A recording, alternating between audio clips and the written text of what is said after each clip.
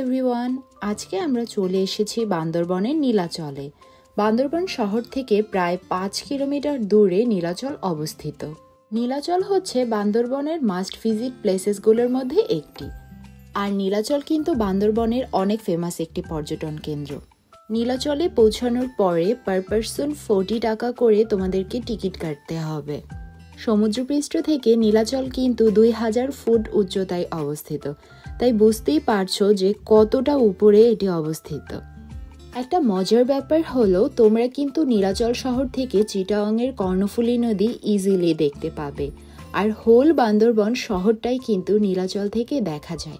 তাই নীলাচলকে কিন্তু হোল বান্দরবনের ভিউ পয়েন্টও বলতে পারো। আর তোমরা দেখতেই পাচ্ছ যে খুবই আর্টিস্টিক ওয়েতে এক নজরে এখানে কি কি আছে তা দেয়া রয়েছে। আর এত সুন্দর ভিউটা না দেখলে আসলে মিস করতাম। আমরা যখন গতবার বান্দরবনে এসেছিলাম, তখন আমাদের নীলাচল আসা হয়নি। এবার আমাদের ফার্স্ট টাইম নীলাচলে আসা হয়েছে। নীলাচলে আসলে কিন্তু তোমরা অনেকগুলো ভিউ পয়েন্ট পাবে। আর একটি টিপস দেই তোমাদের, তোমরা যারা মেঘের দেখা পেতে চাও, তোমরা খুব সকালের দিকে এখানে আসতে পারো। অ্যাজ আমরা বিকেল সাড়ে চারটার দিকে এখানে এসেছি, তাই আমরা মেঘের দেখা পাইনি। সকালে আসলে নিশ্চয়ই মেঘের দেখা পেতাম। বিকেলের ভিউটাও কিন্তু আমার কাছে বেশ লেগেছে। আর নীলাচলে এসে আমার কাছে মনে হলো যে অনেক সুন্দর করেই এই স্পটটি মেনটেনেন্স করা হচ্ছে। একদম নিট অ্যান্ড ক্লিন লেগেছে আমার কাছে, আর এই জিনিসটা আমার কাছে অনেক বেশি ভালো লেগেছে। আর টুরিস্ট স্পটগুলোতে আমরা যখন যাই, আমাদের উচিত অযথা এখানে সেখানে ময়লা না ফেলে প্রপার ক্লিন রাখা।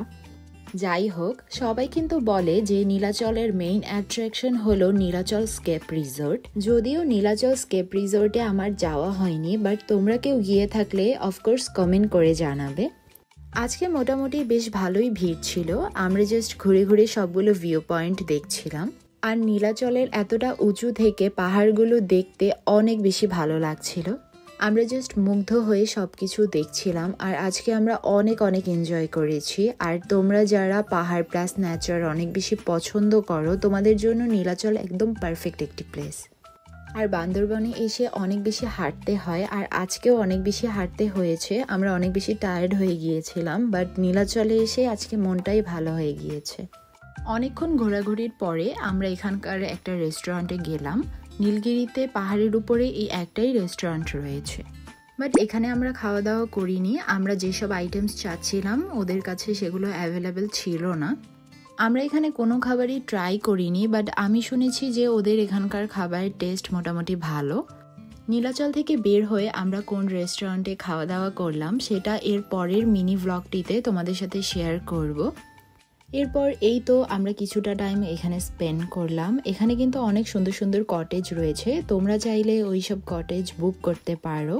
তোমরা দেখতেই পাচ্ছ এই ওয়ালটা কতটা সুন্দর। আর এই ওয়ালটা আমার কাছে সব থেকে বেশি ভালো লেগেছে। হোল এই ওয়ালটা জুড়েই বান্দরবনের ট্র্যাডিশনাল আর্টিস্টিক থিম করা হয়েছে। আর এই ওয়ালটা দেখে মনে হচ্ছে যেন এক একটি পার্ট এক একটি স্টোরি রিলেট করে। অনেক বেশি ইন্টারেস্টিং লেগেছে এই ওয়ালটা আমার কাছে। এতটা অ্যাট্রাক্টিভ ওয়েতে করা হয়েছে যে যে কোনো কারও নজর কাড়বে। আমরা মেইনলি নীলাচল থেকে বের হয়ে যাওয়ার সময় এই উল্টো পথে চলে এসেছিলাম। তখন এই ওয়ালটা আমাদের চোখে পড়ল। যাই হোক, ভালোই হলো। যেহেতু চলেই এসেছি, তাই এই ওয়ালটা স্ন্যাপ নিয়ে নিলাম, এরপর ব্যাক করলাম। আর স্পেশালি নীলাচলের ব্যাক সাইডটাই কিন্তু আমার কাছে বেশি ভালো লেগেছে। কজ নীলাচলের সবগুলো রিসোর্টই এই সাইডটিতে এরপর এই তো হাঁটতে হাঁটতে আবার ভিউ পয়েন্টে চলে আসলাম। আর একটু পরেই সন্ধে হয়ে যাবে, তাই ভিউ পয়েন্টের কিছু সুন্দর সুন্দর ক্লিপস নিচ্ছিলাম আবার।